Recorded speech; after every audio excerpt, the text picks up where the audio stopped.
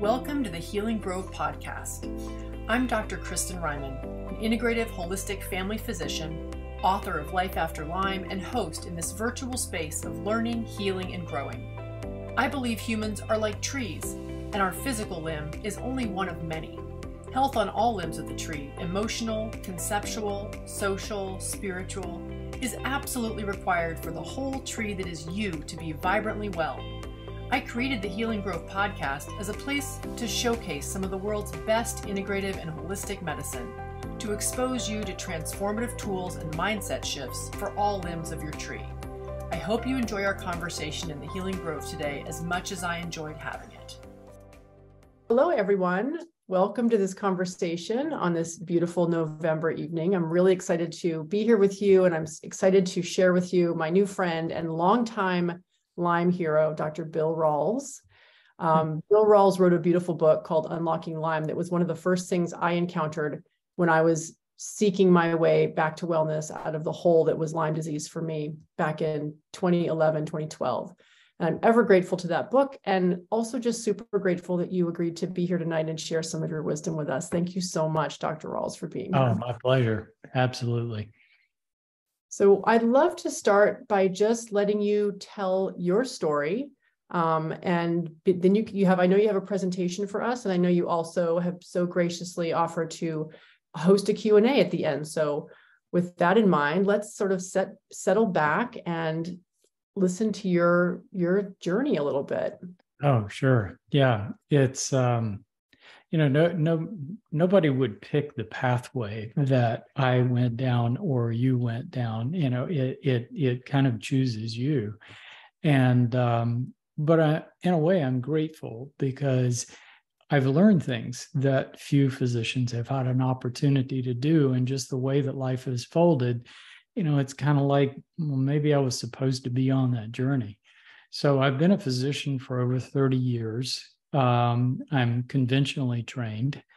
I went into obstetrics and gynecology. That was my specialty because I really didn't like dealing with chronic illnesses because patients never got well you know, most of the patients I was dealing with were healthy and the procedures and, and, and treatments were straightforward.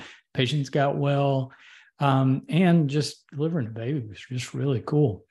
The downside was in a small town, it came with rigorous night call. Um, every second to third night, I was up a good portion of the night. And this went on for 20 years. And late 40s, um, my health finally collapsed. Um, and at first identified with fibromyalgia, like so many people, finally found that I was carrying some of the, the Lyme disease microbes and was like, yes, finally an answer. Took antibiotics that made me sicker instead of better, more frustrations. And, you know, when you look at that symptom spread of fibromyalgia or chronic Lyme disease, both of which pretty pretty much the same. Um, I had virtually all the symptoms. My body was falling apart, all of my body, and I was afraid. I did not know what to do. I was pretty desperate because I was in a small town where I was still having to practice medicine. I gave up OB call, but I still had to make a living. And I really didn't have the luxury of flying around the world and seeking out help. Um, that ended up being a blessing because by default, I ch- chose herbal therapy because there really wasn't anything else, and but really embraced it. Um, you know, handfuls of capsules two or three times a day, and over years, not months, I got my health back. Um, I saw benefit within months of taking the herbs, so I knew they were doing something, but it just kept getting better. And over a five year period, I had really severe involvement in my heart, my joints, neurological symptoms, everything. All of those symptoms faded away. But what's more, I got back things that I wasn't expecting to. So now at age 65, I've been robustly healthy for a decade. but you know, my heart conditions, my, all the heart irregularities went away. Um, my joints that I thought were going to be shot by the time I was 55 are in really good shape. My cartilage is in great shape. My cholesterol went down. My blood sugar went down. My blood pressure went down. Everything got better. So, this thing we call chronic Lyme disease put me on a journey that helped me understand our relationship with microbes in a different way. And it helped me understand chronic illness in a totally different way. So, what I have to share with you is that 10 year journey of really exploring this topic and trying to figure the, this thing out. And it's carried me to a different place than most people who understand chronic illness. Um, but I think it's really important for us to listen to. So, this content that I'm going to present tonight, some of it is very basic and elementary, but it's looking at things that seem very basic in a little bit different way. But I'm going to take you to some different conclusions. And those conclusions, we're still early in the game. There's still a lot of emerging science, and there's a lot for us to learn. But if what I am looking at is real, which I feel very strongly that it is with all the, the, the evidence that's accumulating in the scientific journals, it's going to rewrite our understanding of chronic illness in total. And it's also going to rewrite the solutions that we should be looking at. And one of them is herbal therapy. So that's what I've got to present tonight. Um, the presentation probably will take about 45, 50 minutes. Um, I hope that you find it to be very interesting. Beautiful. And I think um, one thing I'll also add is when we were concocting our plan for tonight a couple months back, we talked about how cool it would be to get a bunch of providers in the room and, you know, talk to doctors because this is stuff that you and I and they, we didn't get in medical school or residency. Yeah. Um, it's so crucial for providers to know this. Um, that being said, as I typically do, I tend to then open up the boundaries and bring everyone in together because that's the way I roll. So if you're not understanding some of the tech, the terminology, or if it's too technical or jargony, just throw it in the chat. I'll define it for you as we go along, or we'll get to it at the end. I don't. I want to make sure people are following, even if we get uh, too doctorly at times. Okay. Absolutely. And you know, I, I did the presentation such that it should appeal and be understandable to most anybody. So you should most people, yeah, you should be okay. Awesome. The time bomb within. That's the title because that's kind of what it is. And what we're going to talk about is the dormant microbiome. I think everybody hears about microbiome. And when they hear that word, they're thinking about gut or skin. This is different. This is in our tissues, and this is pretty new stuff. So, we're going to start by talking about what a microbe is. So, we all hear that word microorganisms. So, very specifically, it's microscopic single celled living organisms, referring to bacteria, which are typically anywhere from 100 to 1,000 times smaller than one of our cells to protozoa, which are a little bit bigger and more sophisticated as far as their cells are more complex, like ours, and then fungi. All of these things are microbes. And then there are viruses that really aren't cells, but they act the same. And as I've been going through my journey, when I see how these things function, viruses and bacteria they're very closely related and they act like each other in, in certain ways that make it very interesting. So, microbiome, it's the sum of all the microbes that inhabit the body. And of course, we have different types of microbiomes. So, technically, it's what a microbiome is is an ecosystem that microbes survive in. So, in terms of our microbiome, it's our body. And we can divide that up to gut microbiome, skin microbiome. Um, you can even have uh, microbiome of your armpits. And actually, they found that the microbes in our left and right armpits are different. Um, right now, they've cataloged somewhere between 20 and 40,000 different bacterial species, but they're just trying to figure out all the viruses that are in there too. Every person's microbiome is different. You know, we have identical twins that have the same genes. Those two people have a different microbiome. So, looks like our microbiome is one of the most unique things about us. So, microbe characteristics. This is important. What's the purpose of the microbe? The a microbe's only mission is making more microbes. And to make more microbes, they need food. So they need organic matter. So anything organic, something that is or was once living, is food for other living organisms. So you have to, so, so they have to survive on some kind of organic matter. It comes from animals or, or plants or other bacteria. So the microbes that we encounter are host dependent. They must get their food, their nutrients and resources from us to survive. So that's only a very, very small percentage of the microbes out there. So there are a lot of microbes that live in the environment at broad, you know, trillions of different species that really don't interact with us because they're not set up genetically to interact with a living organism. So they survive off of like organic matter in the soil and various places in nature, but they don't really do anything to us. So wherever you are right now, um, the surfaces of whatever uh, uh, tables or chairs or whatever around you are covered in viruses. But those viruses, if they can't connect with your cells, they can't do anything to you. So, one thing that's really interesting is bacteria and other microbes follow an unrestricted pattern of growth. All right. So, what that means is, as long as they have the right conditions and the right nutrients, they keep growing and expanding uh, at the expense of everything around them.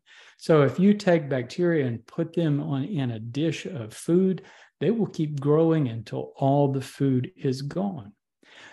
Now, our cells have restricted growth, all right? Our cells, it's like our heart or our liver, you can only fit so many cells in that organ. And if those cells take on unrestricted growth, that's what cancer is. And that's really interesting looking at the unrestricted growth of bacteria and cancer having unrestricted growth. So I'm not going to get into it too deeply in this lecture, but the connections between bacteria and cancer are very, very strong. So the highest concentration of bacteria in the body is in the large intestine. And they're there, there's a lot of them because there's a lot of food. There's nutrients from all the partially digested food. So there's lots of food for microbes to grow. We have bacteria on our skin. They survive off oils we secrete. But there, the concentration on the bacteria on the skin is much lower than in the gut because there's not as much food. So the food, the amount of food restricts their growth. The problem is that the oils on our skin and the food in our gut isn't the only food source in our body any organic matter could potentially serve as a food source for bacteria and other microbes. So, the carbohydrates, fats, proteins, organic molecules that make up our tissues, specifically make up our cells, are potential food for microbes. In other words, we're the food. If that doesn't sound like a conflict of interest, wow, so, a pathogen, you hear about microbes being pathogens. So, what is a pathogen? We hear about that a pathogen is a microbe that causes disease. Well, how do they cause disease? Very specifically, a pathogen is an invasive microbe that does harm by consuming cells and connective tissue in our body. And of course, there are different degrees of pathogens. We have pathogens that live in our gut and on our skin, but we have to protect our tissues. So we want to keep those things in the gut and on the skin and away from our cells and our tissues because they can potentially be a real problem.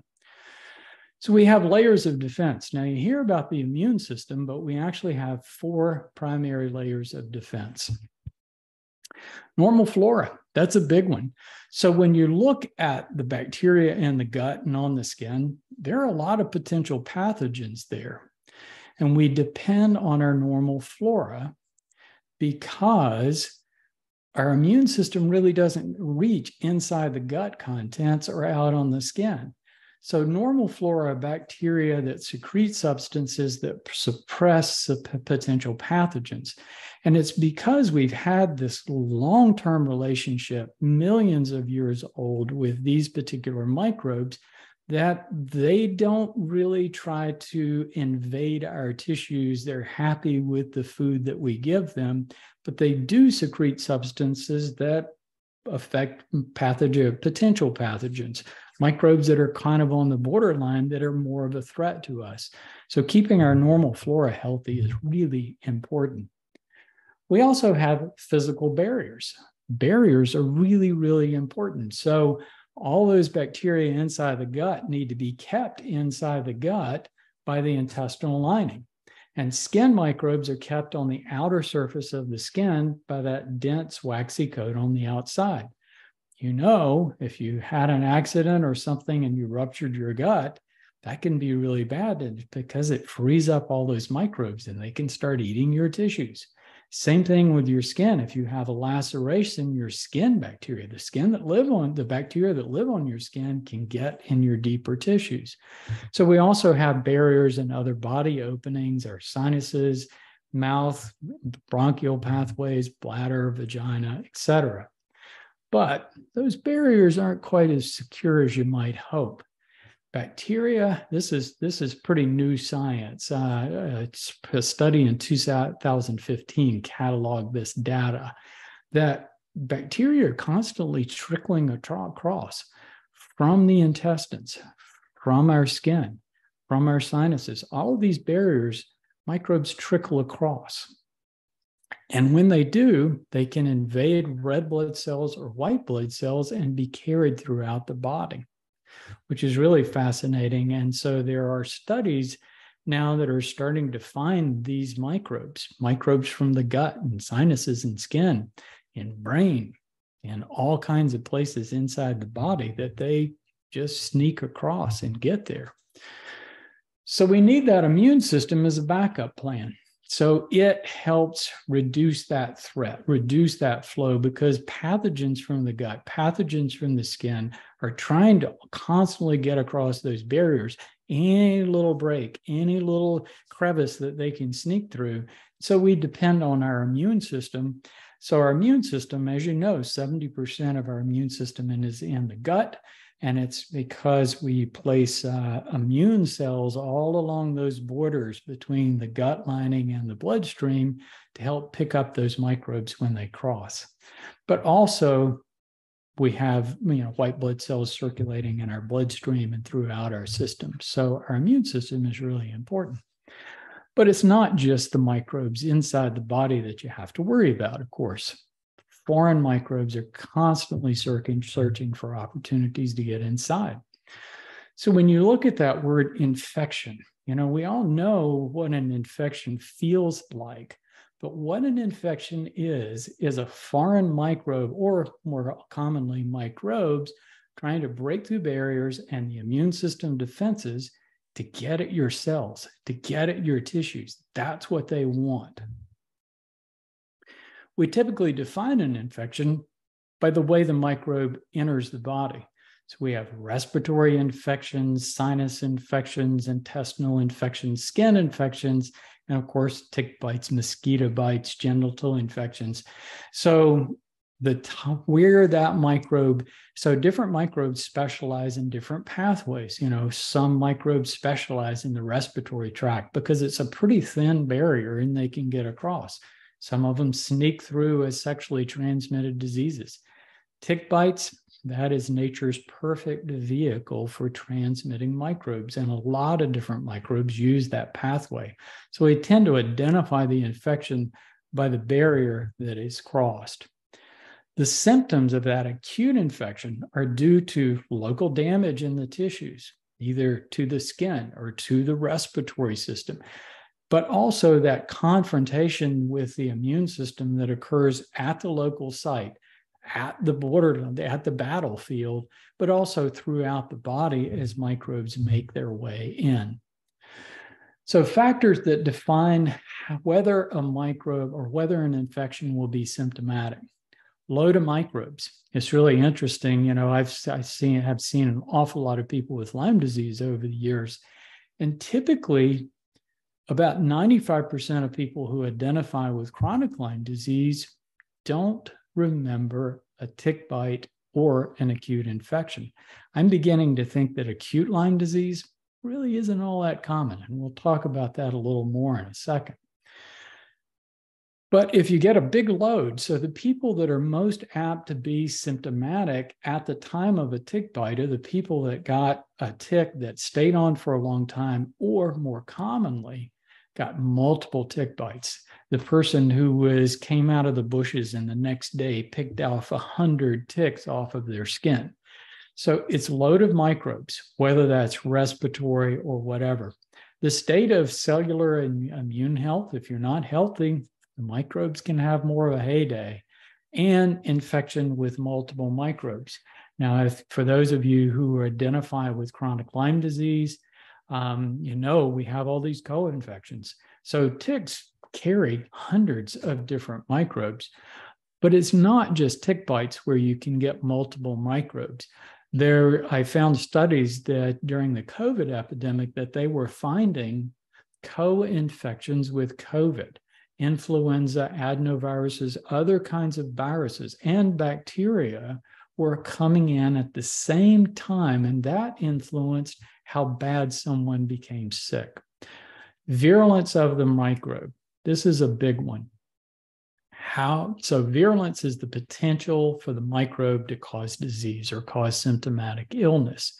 So mm-hmm. virulence is a factor more of the immune system than it is the actual immune actual microbe so the human immune system evolved over millions of years of a repetitive exposure of so many different microbes and all of that is built into our immune system it's hardwired so, most of the things that our ancestors have been exposed to, we have built in immunity to it.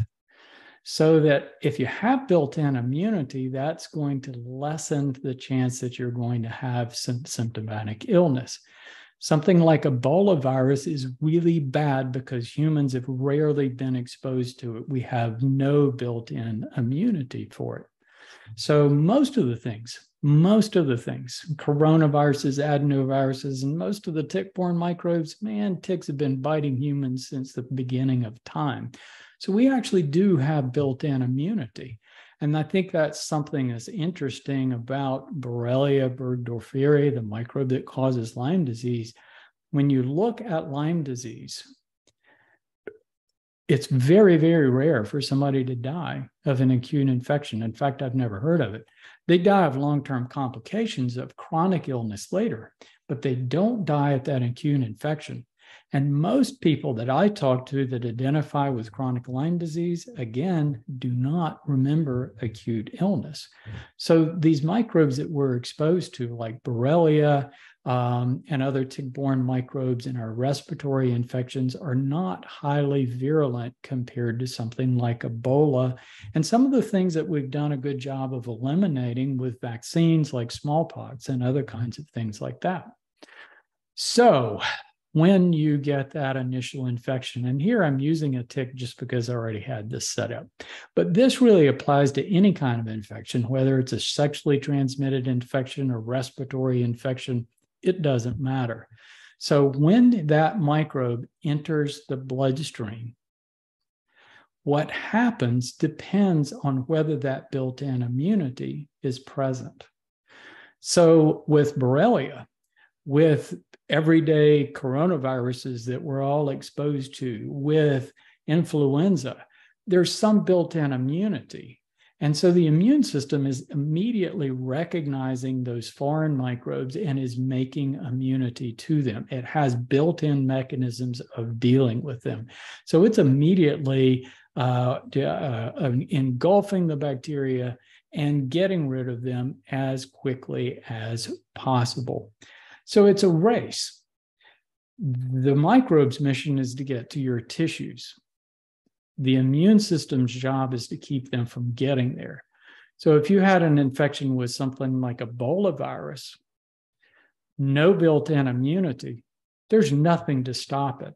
It immediately travels throughout the entire system of the body and travels to all organ systems and immediately begins ravaging cells throughout every system in the body. Borrelia, not so much. In fact, very few of the microbes actually make it to the tissues. Most of the time, with a Borrelia infection or most of the things that we're exposed to, that symptomatic phase is when the immune when the microbe is traveling through the bloodstream and there's a there's a conflict between the microbe and the the bacteria and and and the immune system. So the immune system is doing a pretty good job of eliminating it. So most of the time the infection does mop them up. And even though that happens some microbes do get through. Some microbes do get through so it's so when they do, if they can make it far enough, they immediately invade cells in the body. And this is happening throughout our lifetimes from the time we start putting things in our mouths when we're children. We have interactions with microbes that make it to the cells of our body. All right, so let's see here. So Many of these microbes have the ability to infect and live inside cells. So this is true of, of Borrelia. Borrelia, the microbe associated with Lyme disease, is a, a uh, facultative uh, intracellular microbe. So it can live outside cells, but when it goes inside cells, it loses that little corkscrew shield and it and it becomes just this free floating entity called an L form. It's actually kind of like a virus and it acts like a virus. It takes over the cell the machinery of the cell. And so the cells offer nutrients refuge protection from the immune system. So if these microbes can get to cells they're in great shape so even if a few make it yeah that's what that's that's that's all they need to do. So it's very interesting that all of the microbes that we're dealing with inside the body have the capacity to be intracellular.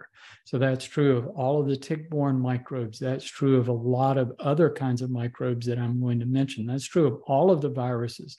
That's true of protozoa uh, like uh, toxoplasma, which is really, really common. So all of these things have that capacity. Fortunately, our cells are not defenseless. And this is the fourth part of the immune system that I our defense system that often gets overlooked. So when a microbe invades a cell, whether that's a virus, protozoa, bacteria, yeast, doesn't matter.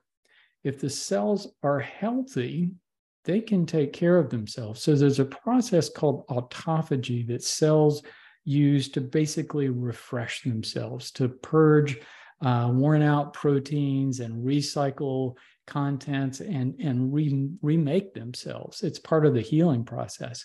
But they use those same mechanisms to expel or destroy invasive microbes. So a healthy cell can take care of itself. If your cells are weak or damaged, though, microbes can take over the cells and use it and basically create an environment inside the cell that favors the microbe growth.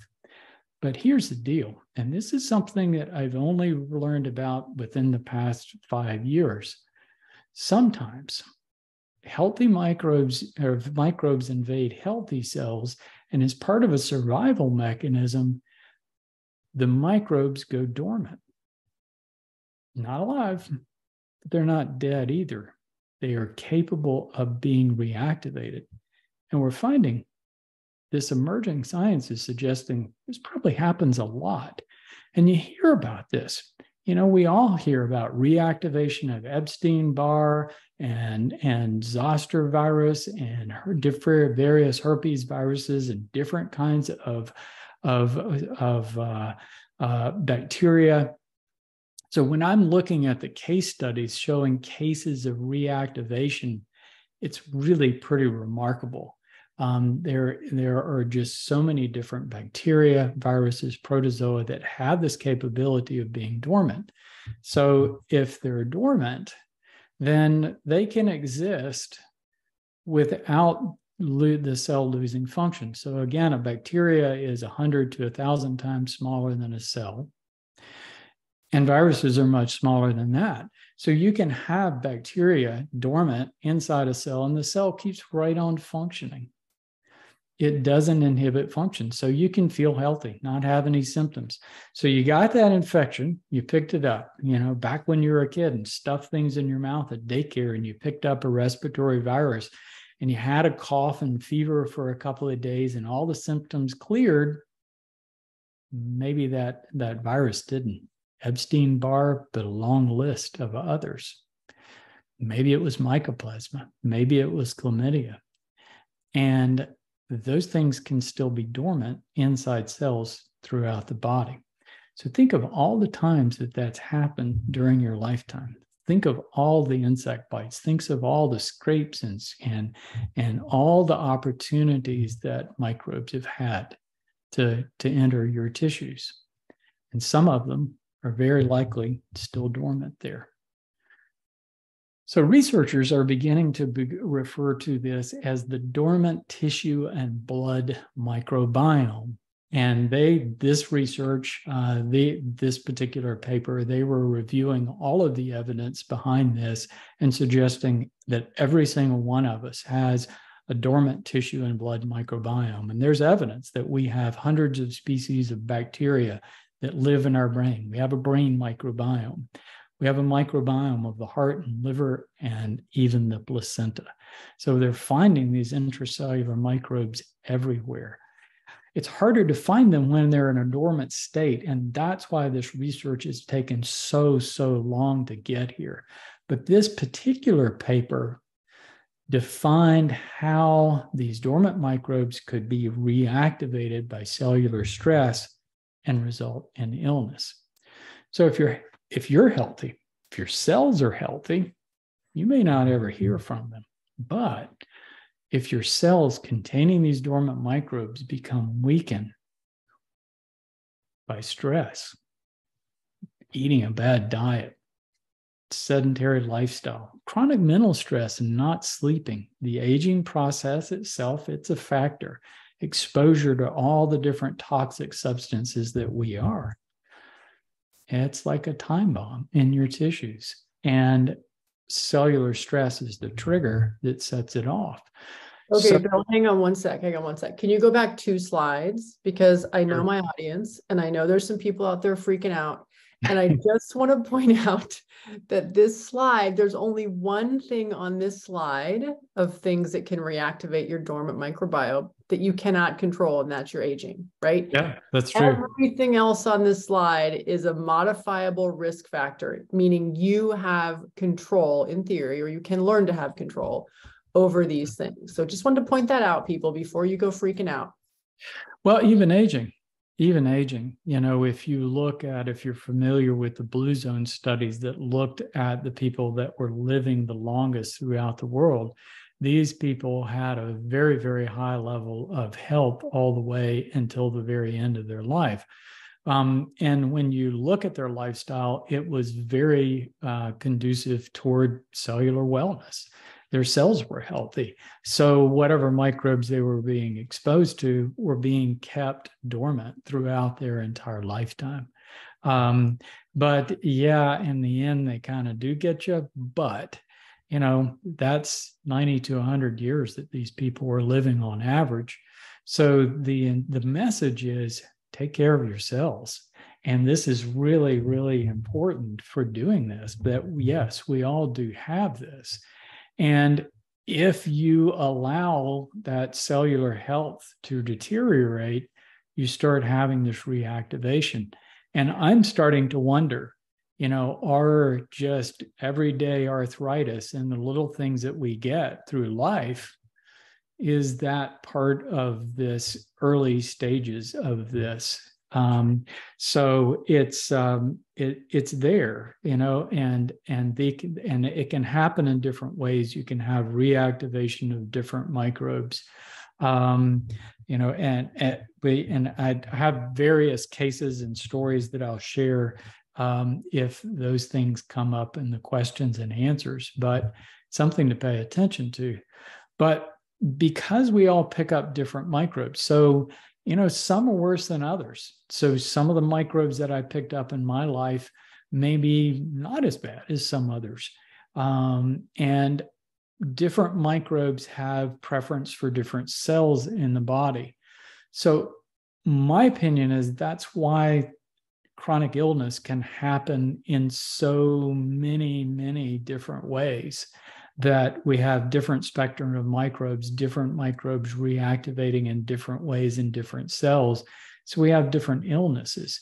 So reading that paper um, about the chronic, uh, you know, the dormant tissue and blood microbiome was startling. Um, you just, and again, this is emerging research. We're still new on the game because I think what we know about, you know, right now there are only uh, about uh, uh, 1,400 pathogens that have been defined out of trillions and trillions of possible microbes.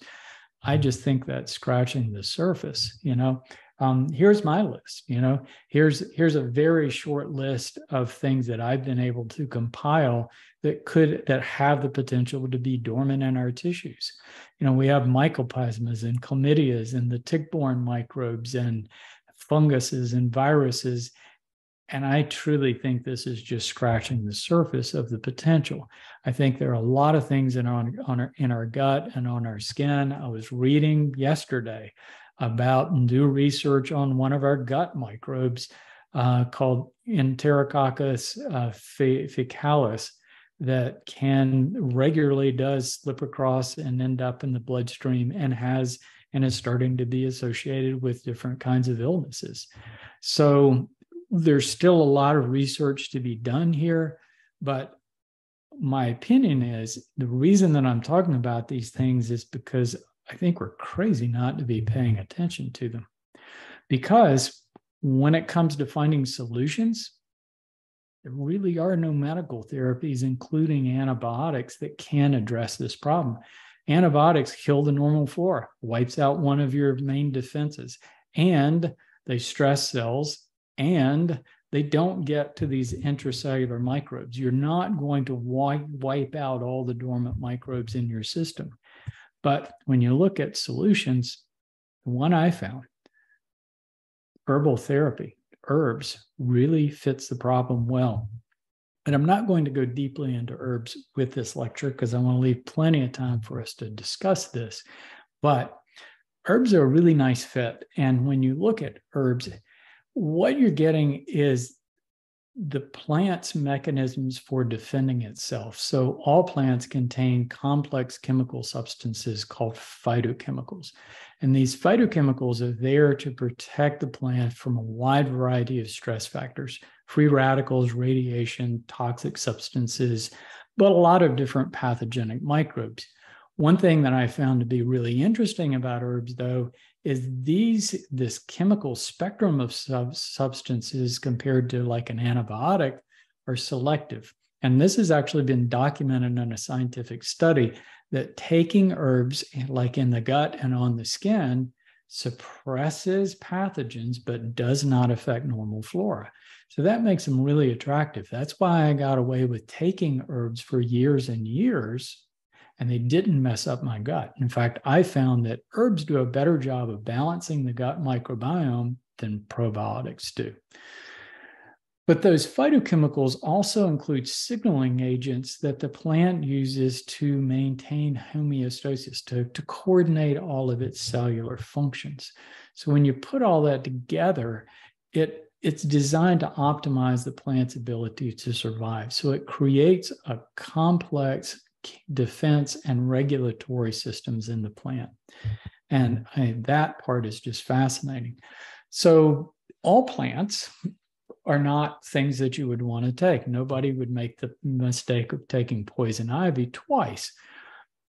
Herbs are plants with biochemistry that meshes particularly well with human biochemistry. And we found that out just for million, you know, hundreds of thousands of years of trial and error of humans knowing which plants are okay for us to eat and which ones aren't. So when we consume that spectrum of phytochemicals from herbs, so herbs aren't nutrient rich. They don't have calories. They don't have, you know, it's not a great source of vitamins and minerals and and you know, it's not like a multivitamin. What you're getting is this phytochemical defense and regulatory system. And what that does when we take that, it enhances our protection against microbes but it also helps us protect ourselves against free radicals, radiation, other kinds of toxic threats to the cell, and helps us maintain that internal balance that we call homeostasis. So, plants do suppress these intercellular microbes, but they're selective for pathogens. Plants protect cells from stress, which is really important. And that helps clear inflammation, optimizes immune functions, but all of these things work together to balance homeostasis. So, what homeostasis is, is when all the cells in the body are working in synchrony. We don't think about hormones and chemical messengers as cell signaling, but basically, what all of our signaling agents in our body, our hormones, our nerves, all of those things are our cells communicating with other cells so they can coordinate functions. So the brain is constantly monitoring what's going on in the inside and outside and using nerves and hormones to balance the functions inside to match those uh, to match those conditions. Herbs have a great safety profile. They've been part of our ancient forage food diet. We've been using herbal medicine for thousands of years. And most herbs, the toxic doses is are extremely high. Um, adverse reactions are low. Now, not to say, you know, when you look at herbs, there's a pretty broad spectrum of what we define as an herb, but um, we there are herbs out there that do have more toxicity and more drug-like effects, but most of the herbs that I'm referring to here are herbs that are very safe to take on a daily basis, and it kind of makes a, a case that we should. So this is the I, you know, I, I spent three years putting all of this in a book um, that we're doing a promotion right now. So if you have any interest, it's called the Cellular Wellness Solution. You can find it on Amazon, the regular price, but at our website, vitalplan.com slash book, you can find it um, for this, this uh, better price for right now. So I'm going to uh, uh, go ahead and stop sharing and uh, open it up for discussion. And I hope I've got everybody thinking. Yeah, you've given us a lot to think about. I know um, some minds have been blown, and and some people are still kind of reeling from it. Um, this has been such a fabulous conversation. I'm I'm blown away by just how much you know and how much time you spent researching this, and and how much time you've given to us tonight. So thank you oh, again. Oh, it's a pleasure. I, I love doing this. I mean, truly, I do. I, I have a good time and I appreciate the opportunity so much. Have a beautiful rest of your evening. I hope you enjoyed this episode of the Healing Grove podcast. If you liked it, please be sure to like and subscribe. And if you want to deepen your experience further, consider grabbing a copy of the Healing Grove Playbook. With journal prompts for this podcast and 41 others, it's the perfect place to record your learnings, keep track of the tools you explore, and reflect on your own experience. Finally, it's important to mention that even though I am a doctor, nothing you hear on this podcast, whether from myself or my guests, constitutes medical advice. Any intervention you try should always be discussed with and supervised by a trusted member of your own healing team. Thanks for listening and see you next time in the Healing Grove.